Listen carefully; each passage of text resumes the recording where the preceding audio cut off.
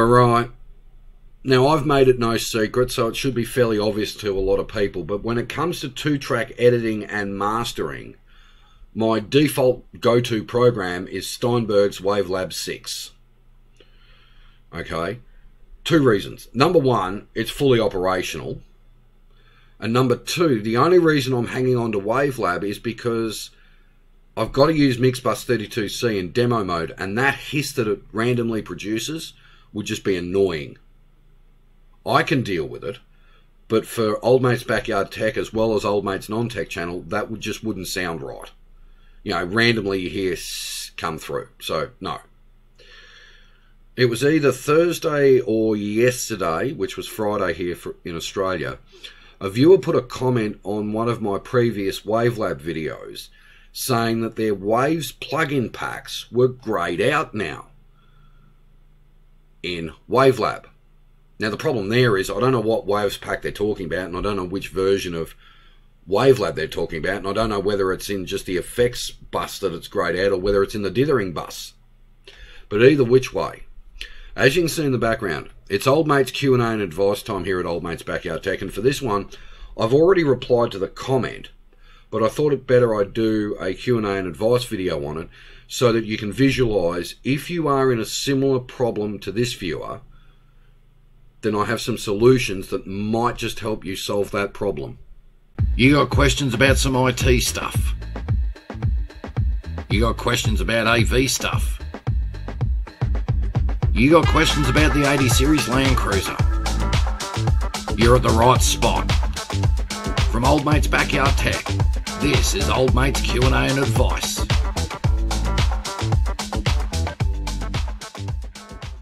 G'day everyone, thank you for tuning in. It is Old Mate's Q&A and advice time here at Old Mate's Backyard Tech and this is basically, as I said, I've already responded to the, to the comment but I think it's best to do a video of it as well. Now the viewer says that their Waves plugin pack is greyed out in Wavelab. I don't know what Waves they're running. I don't know what version of Wavelab they're running. I don't know if it's in the effects channel or the dithering channel. I have no idea, but apparently it's grayed out. Reasons behind this can be a few. Number one, the wave shell didn't load properly when you've gone to open up Wavelab, which means it won't have cached the VST effects properly. Two, you may have accidentally changed your VST location and the cache is looking for it but can't find it. Or three, which has happened to me, and that's a compatibility error between Wavelab and the Waves plugin pack you're going to run. I do know that occasionally Halion can pack up as well. I've had that happen to me in Wavelab 5. Alright? So, as I said, Wavelab is my default two track editor because it's fully operational. It's not running in demo mode. It's fully operational, and I've got, unfortunately, I've got some very old Waves plugins that Mixbus cannot load. And that's not that's nothing against Mixbus. That's just because my pack is just too old. So, let me explain a few things as to why it can happen. I had it happen to me in Wavelab 5. I have not had it happen to me in Wavelab 6. But I'm going to give you a few pointers that if you're in a similar boat to this viewer, some ideas to look at. Now, before we get into it, though, you can guarantee the know it all experts are going to be totally going off their troppo over this because number one, it's software. Number two, we're using the main PC. Number three, we're talking about Pro Audio. Number four, as usual, they will be critical of the everything I do. I'm used to it now. So let me grab the desktop. We'll fire up Wavelab and I'll show you what can sometimes happen if the WAV shell or WAV shell 5 doesn't load properly. And you'll know it. Alright, so as you can see I have all sorts of stuff here. So Wavelab 6. Now, all my Waves plugins work. Okay, I don't have a problem. But the viewer said in here, all the, oh, you can't actually see that. Hold on. Let me just shrink myself down a little bit. Hold on. Try that. That was my mistake. So, in here, right, so these are your effects channels, as we know. And so you have your ASIO, ASIO effects, which is just your audio input and your external gear, for want of a better term, patch. You have your DirectX. You have your oldies, which allows you to resample things up to 192 kilohertz. And you have your VSTs. Now you have your default Steinberg VSTs and then Waves. Now I normally pull mine out of DirectX just because I'm lazy and normally I can go to DirectX first. The problem is, if these are grayed out, okay, for whatever reason, and they're being cached by Wavelab, it will also ring true, if I can move this over to here a moment, that your dithering is also going to be grayed out because your Waves pack isn't just your effects pack, it's your dithering pack as well. So you can see there you've got your your two UV22s, your IDRs, and your uh, Ultra Maximizers, and your L2 Maximizer, which are basically your hard limiters. All right, we've spoken about that in Pro Audio. Now, what causes the VSTs not to load properly? Well, first off, the WAV shell may not work properly. If WAV shell doesn't load properly, it's not going to work properly. Your Waves plug-in packs are not going to fire off. Two, compatibility. You may be trying to run a very new version of Waves and an old version of Wavelab. Or three, you've accidentally shifted your VSTs. Now, Wavelab prefers, and I say prefers, it doesn't mean it has to be there, trust me. But it does prefer the VSTs to be in their default location. All right, which is x86 slash Steinberg slash VST plugins. That's where it prefers them to be. However, if you've deticked that and grabbed a custom folder and all these are still sitting around, you're going to be in trouble.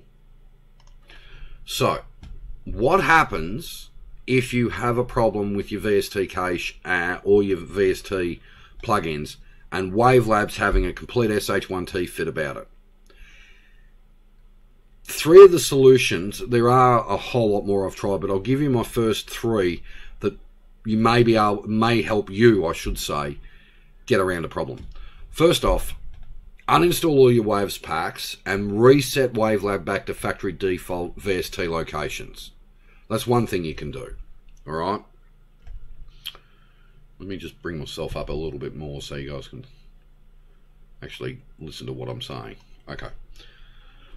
So, you could delete or uninstall all your Waves packs, reset Wavelab back to factory defaults, and then reinstall Waves. That's one way. Number two, uninstall your VSTs, reset Wavelab back to factory default, shut down and restart your PC.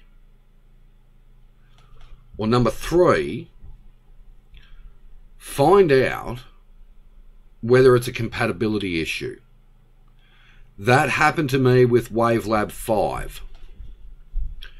And my SSL, well, I don't have it now, I'm not using it, but my SS, S, SSL 4000 pack would not load in, in Wavelab 5. It just constantly said unable to load Waves pack. When I went to 6, it worked. The unfortunate thing might be also is that your Wavelab's broken. I doubt it, but that's an option. Now, I mean, as we saw yesterday in our um, how I used to remix uh, videos, the two videos from yesterday, with the third coming out today, may I remind you. Wavelab is my default two track editor. And so it doesn't just do what we did in it yesterday. Sometimes I've got to do stuff for Old Mate's Backyard Tech and Old Mate's Non Tech channel as well in two track mode in Wavelab. Can I do it in Mixbus? Yes, I can. But in demo mode, it's, yeah, no. No offense to Harrison, but in demo mode, I can't do this sort of stuff in Mixbus because that hiss is just going to drive people mental. So, what I what I would suggest to this viewer, I don't have the comment up at the moment, but I suggest this viewer reset Wavelab back to factory default, reset, uninstall your Waves packs, restart your computer, in, don't open Wavelab, install Waves, make sure it goes into the default folder, which is, as I said, is normally C drive backslash program files x86 backslash Steinberg backslash VST plugins. I just know that off the top of my head all the time. And Cubase normally looks in there as well. Have a look at that problem. If that doesn't work, you're probably going to find either the Waves 5 shell is not, uh, Wavelab 5 shell is not loading properly, which means it's broken, or you've got a caching error or it's a compatibility problem. As I said, the SSL 4000 plugin pack would not load in Wavelab 5, but when I went to 6, it worked beautifully. So there's a compatibility problem. All right. Also, make sure that it's not trying to load RTAS plugins as well, because RTAS is um, I've forgotten. I had it. RTAS plugins are for um my mind's gone blank.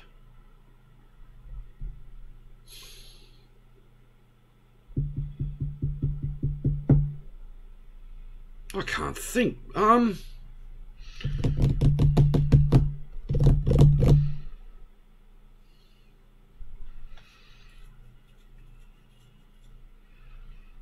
Pro Tools. Sorry, my mind went blank then. RTAS is normally for Pro Tools, but Pro Tools can run, run both RTAS and VST. Um, oh, I can't believe my mind went blank then. So, um, to that viewer, if you've got a problem, check your compatibility, check your VST settings. If it's all busted, the ultimate, the only other ultimate uh, option you'd, you'd have is if it all goes pear shaped on you and you can't be bothered doing what I've suggested and you want to take the easy way out, remove the whole lot, reboot your computer, and start again. I've only ever heard of that happening once, and it wasn't, strangely enough, it wasn't to old mate. Um, someone I knew, uh, they were having trouble with, with the VSTs. They basically blew away Wavelab, blew away the VST plugins cache, reinstalled Wavelab fresh, reinstalled the plugins, and everything worked. So, as I said, because see what you've got to remember is with this is that both DirectX and VST, all right. Now DirectX is not going to show you anything if you don't have any.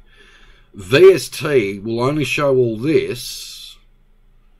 Ah, good. It is in there. That makes me happy. I actually hadn't checked Wavelab to see if the AVA plugins were there, but they are. That's good. Um, if your Waves pack's not working properly, both your well your DirectX isn't going to work to start with, but down here where you've got uh, Waves, okay, if that's all right to work, but all that's grayed out, it means you've definitely got a loading issue. So if you're in a similar boat, try some of those solutions and see what happens. But as I said, if it all just blows up in your face, just blow away your install, blow away your Waves plugins, and when I say blow them away, I literally mean delete the whole lot. Uninstall the whole program, clear the registry out of everything, make sure the, the folders are all empty and start again. I've never had to do that myself, luckily. But then again, see, I know this software. Right, I know Wavelab. I also now know Mixbus too can't half tell I'm enjoying it. Anyway, there we are. Old Mate's Q&A and advice for Weekend Saturdays. Stick around, more coming up. Have a good one.